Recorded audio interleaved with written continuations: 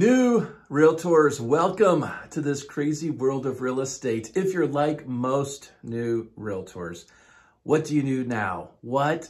Oh my goodness, what did I get myself into? There are so many things to do. Well, I have the step by step, exactly the things that you should be doing, the tactics that you should be using to get leads, to close leads, and eventually get paid. It's not that difficult if you've got the right steps. And the right steps for you are going to be different than the right steps for somebody else. And it all comes down to where your strengths are.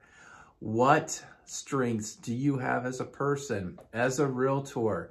There are some things that work for some realtors that will not work as well for other realtors. Now, there are a lot of tactics out there, and pretty much all of them can work. All of them do work for a person that's doing them that their strengths lie around the requirements for, you know, said tactic. Now, the question is, of course, what are my strengths? Well, that's I, I there's a link in this video. It's it's free, basically realtorstrengthfinder.com. Just, just go there. I've developed the questions myself. And it's basically, it's a quick assessment of what you're good at and what you're good at and or what you like doing. There's a strong connection between those two.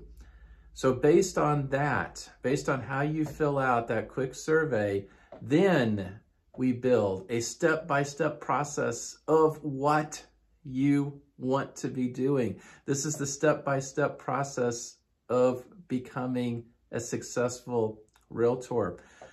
On top of all of that, that's not enough for most people.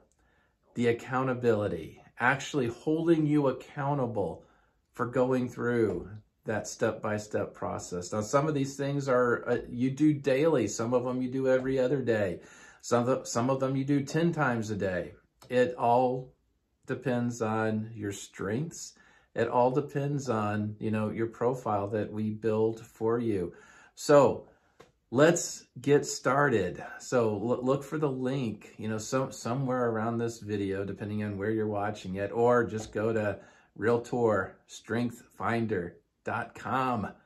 Let's get started. Let's play to your strengths.